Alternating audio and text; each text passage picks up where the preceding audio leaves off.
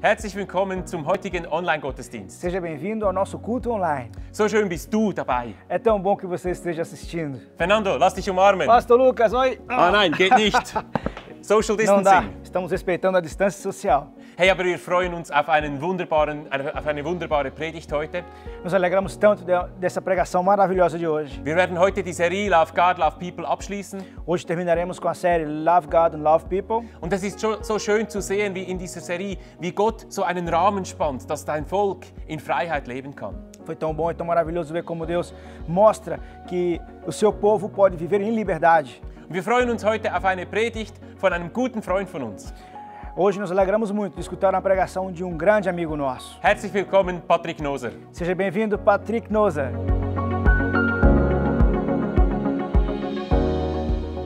Liebe Silbern, schön, dass ich hier sein darf bei euch. Queridos hermanos de Silvan, qué lindo que puedo estar con ustedes, Ganz besonders bei den Latinos. especialmente con los latinos. Ich liebe euer Feuer, eure Leidenschaft Amo vuestro fuego, vuestra pasión und es ist ein Geschenk, mit euch zusammen Gott zu feiern. y es un regalo poder celebrar con ustedes a Dios. Wie es Luca schon gesagt hat, sind wir in einem speziellen Thema drin Así como Lucas ya nos dijo, estamos en un tema especial und ich werde den Abschluss machen. y quiero hacer el final. Wir haben so das Schlüsselgebot heute. Hoy tenemos la llave clave. Der erste Gebot ist, liebe Gott von ganzem Herzen oder liebe deinen Gott und keiner soll dazwischenkommen. El primer mandamiento es eh, ama a Dios sobre todas las cosas y ni una otra cosa que haya entre medio. Und im heutigen Text geht es darum, dass ich nicht neidisch sein soll oder etwas anderes begehren oder etwas anderes dazwischenstellen zwischen mir und Gott. Y hoy estaremos hablando que no, no tiene que haber nada entre Dios y de mí. Hablaremos que no, que no haya codicia en nuestras vidas, que no haya un deseo mal en, en nosotros.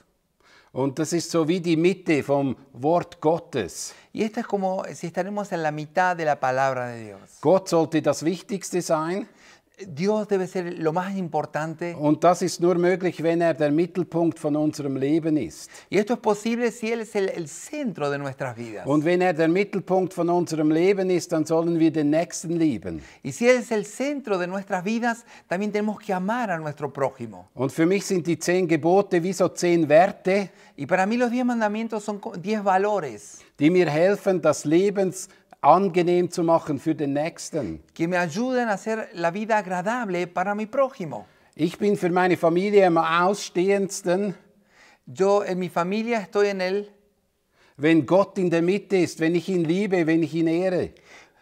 cuando yo amo a Dios, eh, cuando yo lo honro. Und das ist auch das Schöne, wenn wir diese Gebote äh, aus dieser Leidenschaft und aus dieser Liebe Gottes heraus tun, dann ist Gott unsere Quelle. Y cuando nosotros eh, cumplimos la- la- eh, los diez mandamientos, lo hacemos por amor, entonces eh, ahí cumplimos lo que Dios espera de nosotros. Und wenn ich heute am Anfang war, der Neid zu euch spreche, Y eh, en este, ahora cuando les hablo sobre, al principio era la envidia, dann wissen wir, Neid ist etwas, was zu unserem Alltag gehört. sabemos que la envidia es algo que eh, eh, lo vemos día a día. Wir sind neidisch, weil unser Nachbar ein besseres Auto hat oder ein Whirlpool oder eine Sauna. Estamos envidiosos porque nuestro vecino tiene un mejor auto, una sauna o alguna otra cosa. Aber wir sind auch neidisch, wenn jemand anders vielleicht besser hat als ich momentan in der jetzigen Lebenssituation. O estamos envidiosos porque a otro le va mejor que a, nosotros en esta situación actual. Und in der heutigen Zeit sind wir ja ein bisschen eifersüchtig, wenn es dem anderen nur ein kleines bisschen besser geht als mir. Y hoy en día lamentablemente somos muy envidiosos cuando a otra persona le va mejor o tiene cosas mejores que nosotros. So habe ich schon das Gefühl, ich muss in einen Konkurrenzkampf hineingehen. Y ahí entramos nosotros en una competencia en la vida. Und ich muss die Menschen beeindrucken, die ich eigentlich gar nicht so gerne habe. Y tengo que mostrar algo a las personas que realmente, que ni siquiera las, las amo. Ich trumpfe mit meinen Kindern auf, Yo eh, trumpfe oder ich, über, ich, ich tue meine Kinder, ich, ich stelle meine Kinder so in die Mitte, yo expongo a mis hijos en el centro dass sie die beste Ausbildung haben, para que tengan la mejor educación, dass sie irgendwelche Schulen machen. para que hagan una buena, una buena escuela. Und diese Schule, mit der zeige ich, wow, meine Kinder können etwas. Y con estas escuelas yo estoy mostrando, mira a mis hijos todo lo que ellos pueden. Und einerseits überfordere ich auch meine Kinder, Pero por otro lado también yo estoy poniendo bajo presión a weil mis sie hijos. vielleicht gar nicht so gut sind, wie ich es denke. Porque no son tan buenos como yo pienso o quiero. Aber das Problem ist, ich will ja vor den anderen gut dastehen. Pero el problema es que yo quiero mostrarme delante de los otros de una forma bien buena. Aber ich möchte dir heute Abend etwas sagen. Hoy te quiero decir algo. Gott sieht in uns das Gold. Dios ve en nosotros el oro. Gott sieht in uns die Gaben und Talente, die er in unser Leben hineingesetzt hat. Dios ve en nosotros los talentos y dones que Él nos puso en nuestro Und corazón. unsere Aufgabe und unser Plan besteht darin, Y nuestro plan y deber es, está en esto, dass wir den Nächsten lieben und achten que amemos a nuestro prójimo y lo honremos. und mit den Geschenken, die Gott uns gegeben haben, Y con esos regalos que Dios nos ha dado, wollen wir nicht angeben, no queremos eh, mostrarnos, sondern wollen wir sie segnen. sino queremos bendecirles. Und das ist unsere Aufgabe. Wir wollen ein Segen sein, gerade auch in der heutigen Zeit. Y ese es nuestro deber y queremos ser una bendición exactamente hoy en nuestra actualidad. Und es wird so schwierig, ein Segen zu sein, wenn wir andere beneiden. Pero no podemos ser una bendición para otros cuando nosotros envidiamos a otros. Weil in diesem Segen drin, wo wir haben von Gott bekommen, ist eine Großzügigkeit von ihm drin versteckt. Porque en esa bendición que nosotros hemos recibido hay una generosidad que hemos recibido de Dios. Wo er uns auffordert, wir sollen großzügig sein. Y donde Él también espera de nosotros que seamos generosos con nuestro prójimo. Wir sollen den Nächsten lieben und das Beste geben. Tenemos que amar a nuestro prójimo y darle lo mejor. Und am Anfang war der Neid.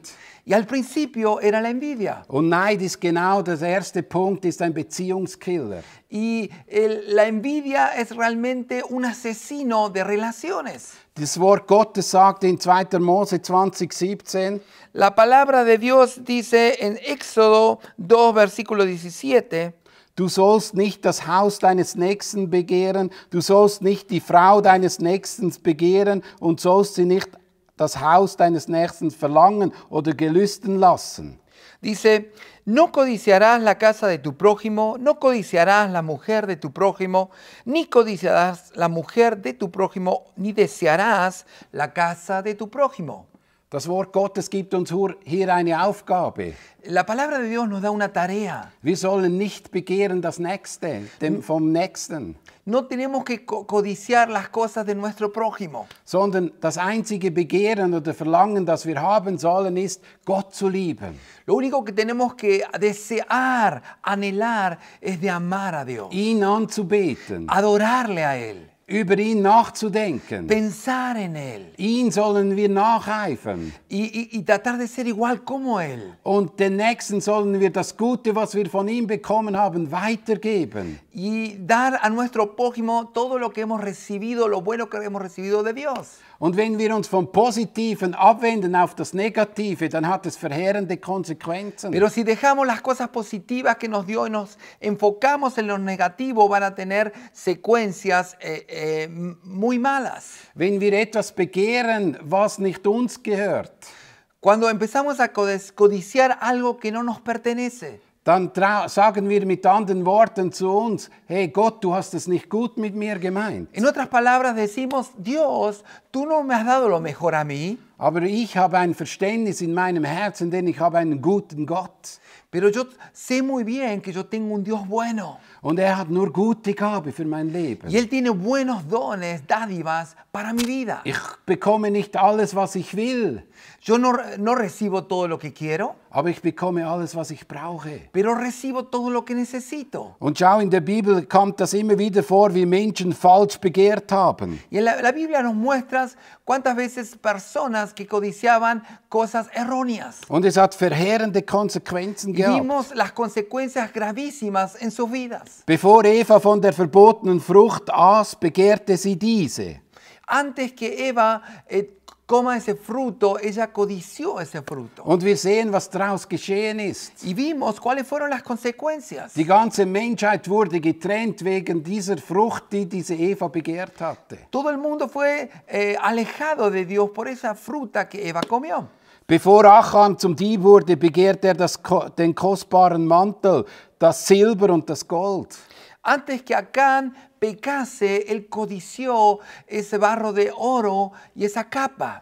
Und das war eine verheerende Sache, weil da haben die, das Volk Gottes Niederlage erlebt wegen de, diesem falschen Begehren. Y vemos las consecuencias muy graves que todo el pueblo de Israel sufrió eh, en la de- en derrota porque él codició eh, algo que no le pertenecía. Und bevor David zum Mörder und Ehebrecher wurde, begehrt er die Frau, die er nackt auf dem Balkon sah. Y antes que David pecase, él codició a esa mujer que estaba desnuda, que eh, se estaba bañando. Und das war so verheerend, was David da angestellt hatte. Y vemos las consecuencias graves que David tuvo que sufrir. Der Mann nach dem Herzen Gottes wurde zum Mörder, El hombre, de acuerdo al corazón de Dios, se hizo un asesino. wurde zum Ehebrecher. Eh, David se hizo un fornicario. Und dieser Ehebruch, der hat so verheerende Konsequenzen für einen anderen Mann.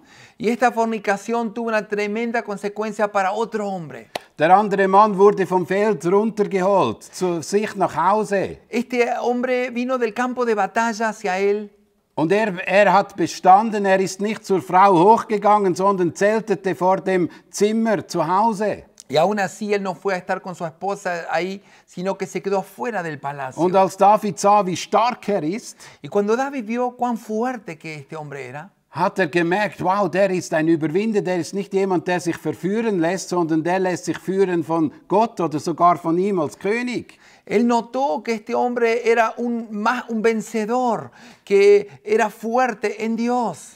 Da hat er diese, dann hat er diese Person zurückgeschickt zum Feldhauptmann. Y así envió a esta persona nuevamente al, al general de ejército mit einem Brief, der das Todesurteil ihm weitergibt. con una carta que sería su sentencia de muerte. Und wir sehen hier, Neid ist ein Beziehungskiller. Y vemos como la envidia es una, una asesi- asesino de relaciones. Es ist etwas, was man unbedingt haben will, aber man ist sich nicht bewusst, was alles daraus zerstört wird. Es algo que uno quiere tener de a, de a toda costa, pero no se da cuenta de las consecuencias graves que va a traer. Und da möchte ich dich heute Abend ermutigen. Y en esta noche yo te quiero motivar. Schau, Gott ist der gute Gott, der dich von ganzem Herzen liebt. Mira, Dios es el Dios bueno que te ama de todo corazón. Und lernen wir von Jakobus 1, 14 und 15. Y queremos aprender ahí de Santiago capítulo 1, 14 y 15. Da steht drin, Y ahí dice, Nein, wenn jemand in Versuchung gerät, ist es so seine eigene Begierde, die ihn reizt und ihn in die Falle lockt. Nachdem die Begierde dann schwanger geworden ist, bringt sie die Sünde zur Welt. Die Sünde aber, wenn sie ausgewachsen ist, gebiert den Tod. Pero cada uno es tentado cuando es arrastrado y seducido por su propia pasión. Luego esa pasión, después de haber concebido, da a la luz el pecado. Y el pecado, una vez llevado a cabo, engendra la muerte. Und bei all diesen drei Beispielen sehen wir, es ist verheerende Niederlage geschehen, weil Menschen sich vom Falschen verführen ließen. Y ahí vemos en estos tres ejemplos las consecuencias eh, tan graves porque se dejaron llevar por la envidia. Bei einem war es die Beziehung zu Gott Un- con uno era la, la relación con Dios und bei den anderen die Beziehung zum Nächsten. y con los otros la relación con el prójimo. Und Gott möchte, dass genau das funktioniert, dass meine Liebe zu Gott und zu seinem Nächsten funktioniert. Y Dios quiere que este amor funcione, amor hacia Él, pero amor hacia el prójimo. Und wenn das in unserem Leben daraus herausfließt, Y que este amor pueda fluir de nuestras vidas. dann sind wir ein Segen. Entonces seremos una bendición. Der zweite Punkt ist Neid, ein Spiegel unseres Herzens. Segundo punto es, la envidia es un espejo de nuestro corazón. Wenn wir in 2. Mose weiterlesen, da heißt es drin, du sollst nicht begehren Haus, Frau, Knecht, Magd, Rind, Esel, was dein Nächster hat. Cuando leemos en Éxodo 20, 17 dice, no desearás casa, mujer, siervo, sierva, asno y buey, cosa alguna de tu prójimo. Alles von diesen Bereichen sind Eigenschaften, die uns manchmal Schwierigkeiten äh, in unserem Leben bescheren.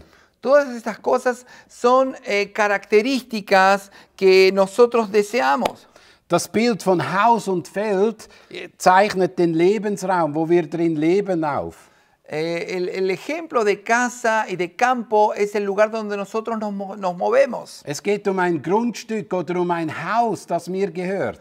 Se trata de una casa, de una posesión, algo que nosotros poseemos. Und sehr oft werden wir neidisch, weil jemand eine, ein Haus hat oder eine schöne Wohnung oder etwas Wertvolles oder viel Land oder Besitz. ¿Y cuántas veces nos eh, ponemos envidiosos al ver que otros tienen una casa, eh, una propiedad, un campo?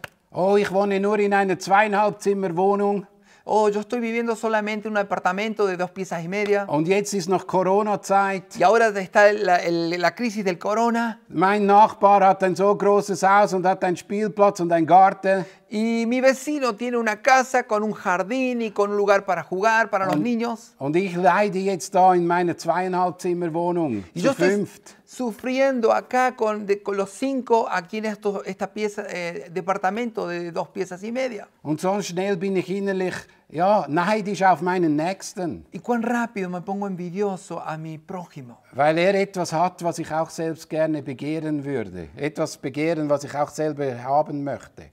Porque eh, él tiene algo que yo codicio con todo mi corazón. Der zweite Punkt sind die Beziehung Mann und Frau. Es- sollen nicht Mann und Frau begehren. El segundo punto es la relación entre hombre y mujer. Wer hat sich schon eine andere Frau gewünscht? ¿Quién no deseó tener otra mujer? Du hast Konflikte zu Hause und dann denkst du, ah, die Frau da sieht besser aus, also ich wäre lieber mit der zusammen.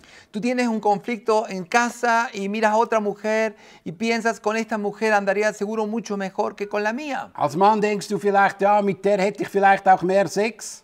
O como hombre pensarías yo tengo más sexo con ella.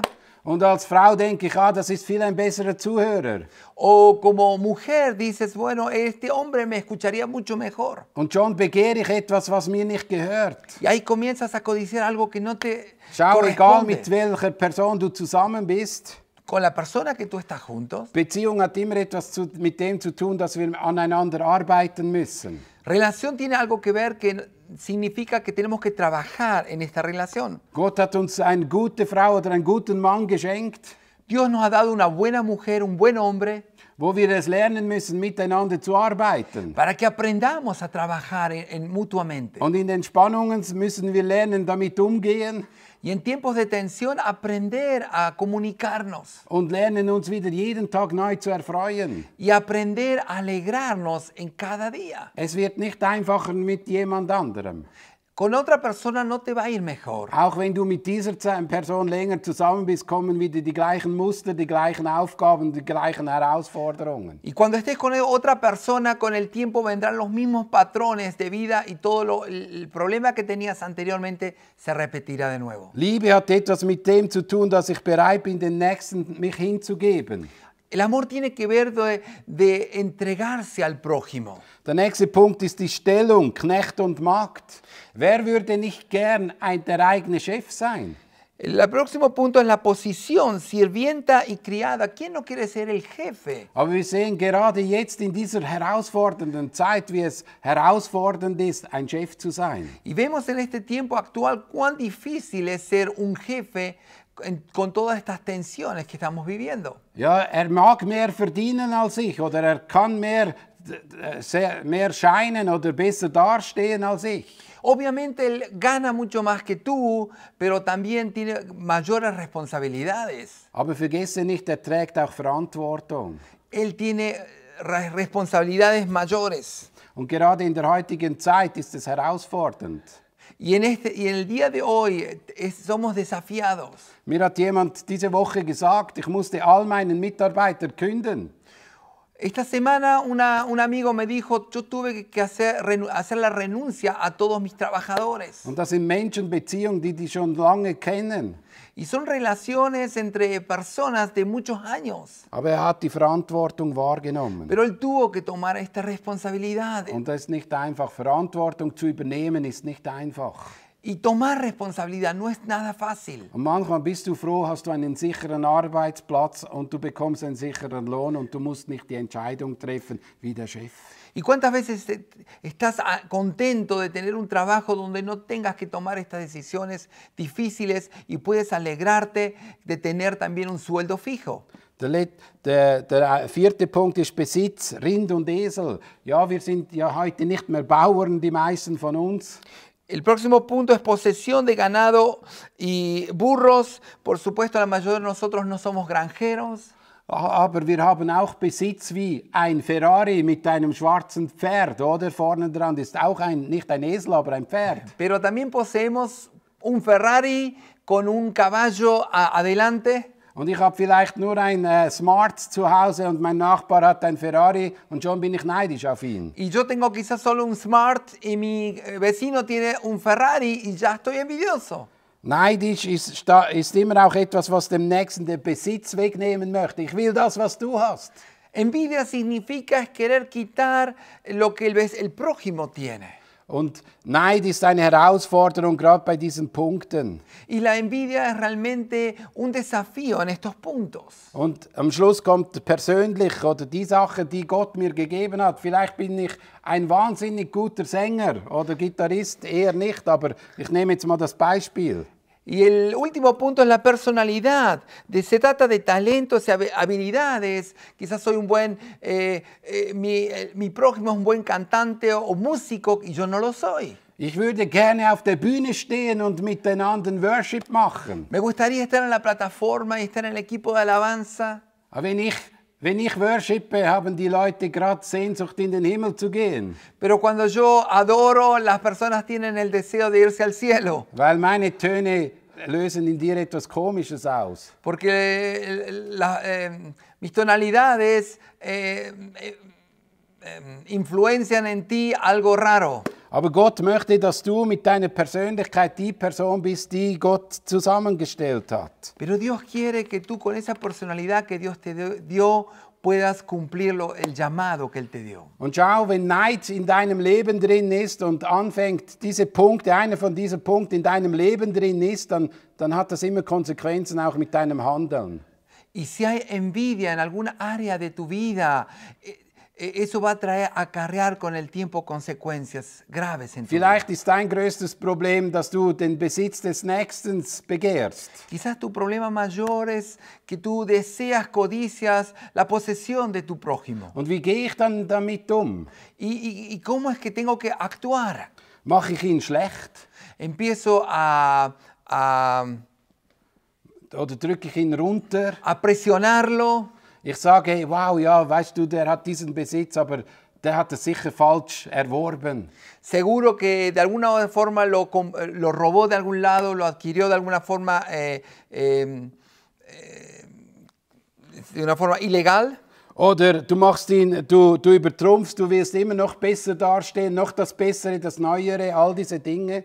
O tú quieres sobrepasar y mostrar que tú tienes algo mejor que la- lo que tiene tu prójimo. Oder ganz schlimm wird es, wenn du so neidisch bist, dass du eine, das zerstörst und immer ganz schlecht machst. Otro sería que tú tratas de destruir lo que él tiene para que lo que tú tienes sea mejor.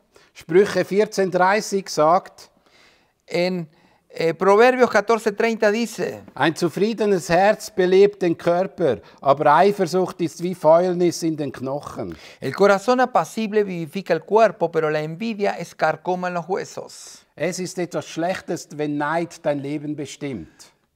Es algo malo cuando la envidia eh, gobierna en tu vida. Aber weißt du, am meisten leidest du, wenn du neidisch auf andere bist. Pero el que más sufre eres tú cuando eres envidioso. Und Gott möchte dir dabei helfen. Y Dios quiere ayudarte. Wenn du in deinem Herzen drin merkst, wow, da ist Neid, der zerstört mich, der macht immer auch die Beziehungen kaputt, Y si tú sientes que hay envidia en tu corazón y que está destruyendo las relaciones en tu vida, dann möchte ich dir jetzt einen besseren Weg zeigen. Quiero mostrarte un mejor camino. Neid muss überwunden werden. Esa envidia tiene que ser vencida. Und in Römer äh, 12, Vers 21 steht, lass, nicht von Bösen lass dich nicht vom Bösen besiegen, sondern besiege das Böse mit Gutem.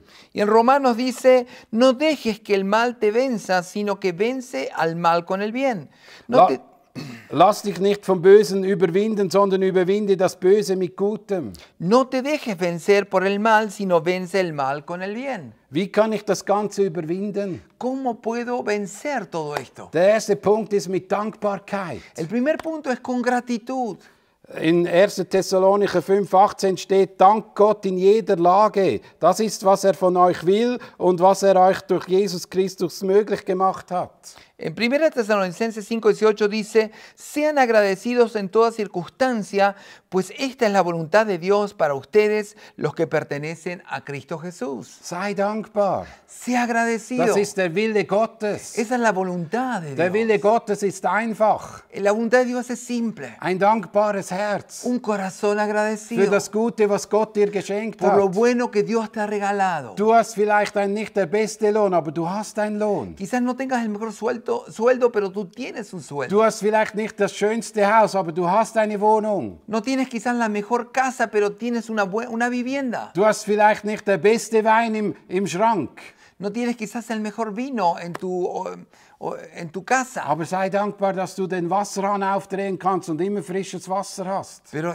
sea agradecido que puedes abrir la canilla y sacar agua fresca para beber. Wir, sind, wir können in unseren Ländern so privilegiert sein, wie Gott gut ist zu uns. En este- nuestro país podemos estar tan agradecidos lo bueno que Dios es con nosotros. Wir, Gott hat uns so viel anvertraut, so viel Gutes. Dios nos ha confiado tantas cosas buenas. Der zweite Punkt ist zufrieden sein, genügsam. El próximo punto es estar satisfechos. Paulus sagt in Philipper 4, 11 bis 13 etwas ganz Interessantes. Pablo dice en Filipenses ca- 4, 11 y 3 algo muy interesante. Ich sage das nicht etwa wegen den Entbehrungen, die ich zu ertragen hatte, denn ich habe gelernt, in jeder Lebenslage zufrieden zu sein. Ich weiß, was es heißt, sich en- einzuschränken zu müssen und ich weiß, wie es ist, wenn alles im Überfluss zur Verfügung steht.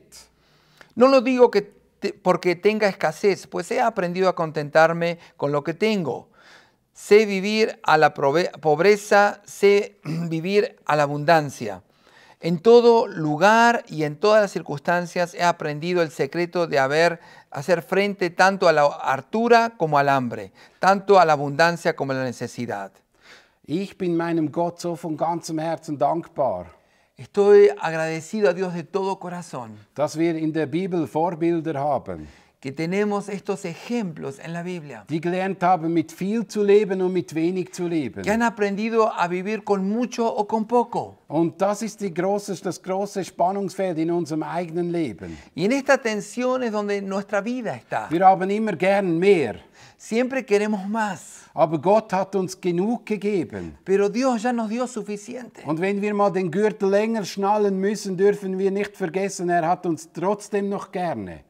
Y si nosotros tenemos que ajustar más al cinturón, tenemos que entender que Dios aún igual nos ama de la misma forma. Und er bleibt immer noch derselbe Versorger. Y es el mismo proveedor. Ob ich wenig habe oder viel, er versorgt. Si tengo mucho poco, Él provee. Er ist der Versorger. Él es nuestro proveedor. Und ich muss nicht neidisch sein auf das Nächste, sondern ich darf dankbar sein, dass Gott mich versorgt. Y no tengo que estar envidioso a mi prójimo, sino saber que Dios provee. Und das ist schön. Y esto es lo hermoso. Die meisten von uns jammern auf einem hohen Niveau. La mayoría de nosotros vive en un nivel muy alto. Aber Gott ist der gute Gott, der dir so viel Gutes gegeben hat. Y Dios es el buen Dios que te ha dado tantas cosas buenas.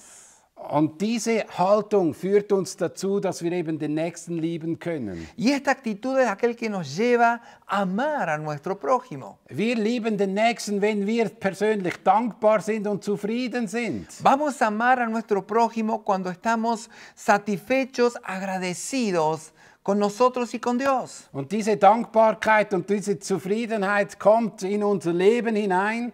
Y esta gratitud, este estar satisfechos llegan a nuestra vida wenn Jesus Christus die Mitte unseres Lebens ist. cuando Jesucristo está en el centro de nuestra vida. Und ich möchte dich auffordern und sagen, nimm Jesus in die Mitte deines Lebens. Y quiero motivarte para que pongas a Jesús en el centro de tu Und vida. dieser große Jesus wird dir den Vater und den Geist offenbaren. Y, y Jesús te va a, a revelar al Padre, al Espíritu Santo. Und dieser gute Vater wird in deinem Leben der treue Versorger. Y ese Padre bueno te va a guiar eh, en tus caminos de una forma fiel. Ich kann dir nicht versprechen, dass er dir alle Wünsche erfüllt. No te puedo prometer que va a cumplir todos tus deseos, Aber ich kann dir versprechen, dass er dir das gibt, was du brauchst zum Leben. pero te prometo que Él te va a dar todo lo que tú necesitas. Und er gibt dir Leben im Überfluss hier auf Erden. Y Él te da vida en abundancia aquí en la tierra. Und er gibt dir ewiges Leben. Y Él te da eh, vida eterna. Und dieses ewige Leben kannst du annehmen, wenn du Jesus Christus in die Mitte deines Lebens setzt. Y tú puedes recibir esta vida eterna si pones a Jesucristo en el centro de tu vida. Und wenn du das heute Morgen machen möchtest oder heute Abend machen möchtest, Y si tú quieres hacerlo hoy en este día, dann geh auf die Knie ponte de rodillas und sage, Jesus werde mein König von meinem y Leben. dile, Jesús, sé el rey de mi vida. Ich sehe in meinem Herzen kommt nicht die Dankbarkeit und die Zufriedenheit nach vorn, Veo que en mi vida no está esa gratitud y ese estar satisfecho. aber in meinem Herzen kommt Groll oder Neid oder solche Dinge vor. Y, en- y- y veo codicias, envidia en mi vida. Und ich möchte dir das jetzt ablegen. Y quiero ahora entregarlo. Ich möchte jetzt noch kurz beten Quiero ahora orar und sagen, am Anfang war der Neid, y decir, al principio era la envidia. aber mit Jesus Christus ist die Chance, den Nächsten zu lieben. Pero con Jesucristo tenemos la oportunidad de amar al prójimo. Jesus, ich danke dir, Señor Jesús, yo te du agradezco liebst jeden Menschen, porque tú amas a cada persona bedingungslos. sin... eh, eh, em, Du hast einen großen Traum über jedem Leben. tú tienes un grande sueño con cada vida, Señor. Du liebst jeden von ganzem Y Herzen. tú amas a cada uno de todo corazón. Und du wünschst dir nichts mehr, dass du der Chef darfst, sein darfst von meinem Leben. Y tú, tu mayor anhelo es que seas tú el rey, Señor, de cada vida. Und ich gebe dir mein Leben Y yo te doy ahora mi vida. und sage danke vielmal, dass du in mein Leben gekommen bist Y te agradezco porque tú has entrado a mi vida und dass du mir das Beste geschenkt hast. y que tú me has dado lo mejor. Leben in Fülle. Esa vida en, en- en plenitud. Und dieses Leben in Fülle hat mit der Beziehung und Freundschaft zu dir zu tun. Y esta vida en plenitud está relacionada con esa, eh, con, con- con esa intimidad contigo. Ich lernte dich als Versorger, als Freund und als Fürsprecher kennen. Quiero conocerte como el proveedor, como mi salvador. Danke vielmals. Gracias, Señor. Danke. Gracias. Amen. Amén. Ganz herzlichen Dank, Patrick. Muito obrigado, Pastor Patrick. Es ist fanta- Es ist fantastisch, mit dir unterwegs sein zu dürfen. É tão maravilhoso estar junto contigo nessa caminhada. Ich möchte euch alle ganz herzlich jetzt schon wieder einladen, auch nächsten Sonntag wieder dabei zu sein. Eu quero aproveitar a oportunidade para convidar você para no próximo final de semana. Wir werden wieder einen spannenden Online-Gottesdienst haben Vamos ter um outro maravilhoso culto online und werden mit einer neuen Serie starten zum Thema Liebe deinen Nächsten. e iniciaremos uma nova série com o tema Ame o seu próximo. Ich wünsche euch eine ganz gesegnete Woche. Que Deus abençoe vocês e uma feliz e abençoada semana.